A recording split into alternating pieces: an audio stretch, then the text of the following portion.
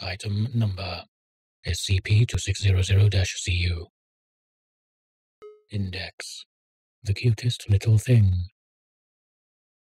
Object class It's, uh, cute.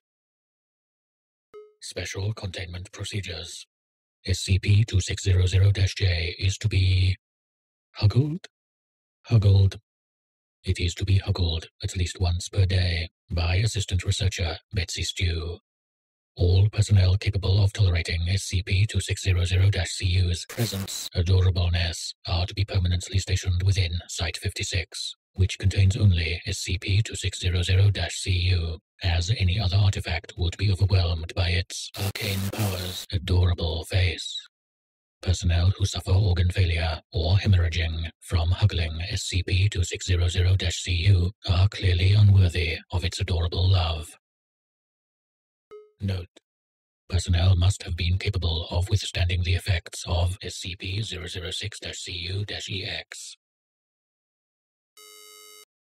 Image removed by order of O5 for driving personnel members barking mad with its cuteness.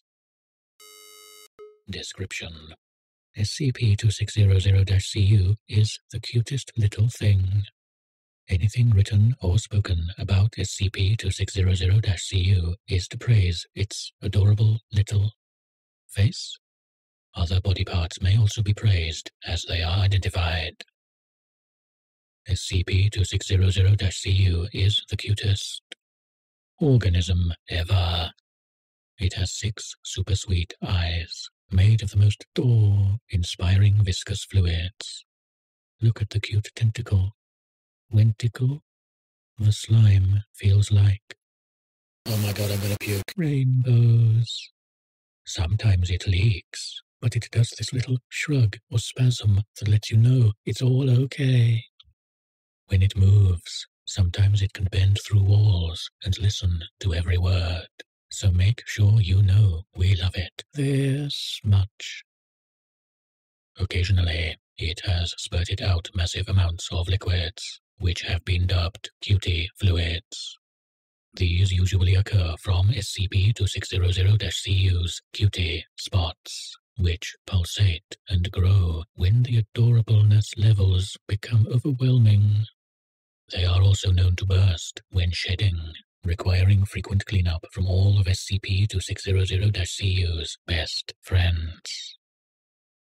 Any personnel who do not wish to participate in praising how adorable SCP-2600-CU is may participate in other activities, such as hanging up posters around Site-56 about the glorious, adorable little dance it does, or creating documentation of it to send to other sites.